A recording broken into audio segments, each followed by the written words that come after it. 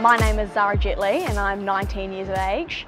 I am currently studying, I work a lot of part-time jobs and I play cricket.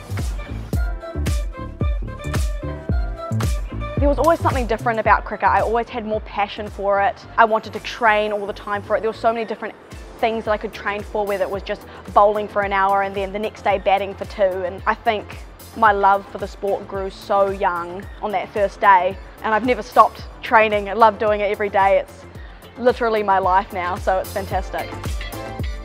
I came into the team when I was 16. I was training as a fielder, a specialist fielder they called me, and that was very overwhelming as a young person because I was, you know, all these girls had already got their degrees, they were studying full-time jobs, um, and I was doing NCEA level one and definitely in a completely different lifestyle to them.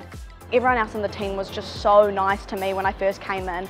I think that whole idea of me being the younger person, they really paid attention um, and just like sat me down, talked to me through things about I, things that I was uncertain about. So the team overall was just so welcoming when I first played, so it wasn't too difficult. Last year I debuted my first T20 match um, and it was pretty scary because it was televised too. So there was a lot of pressure, but you know, I handled it well, I thought.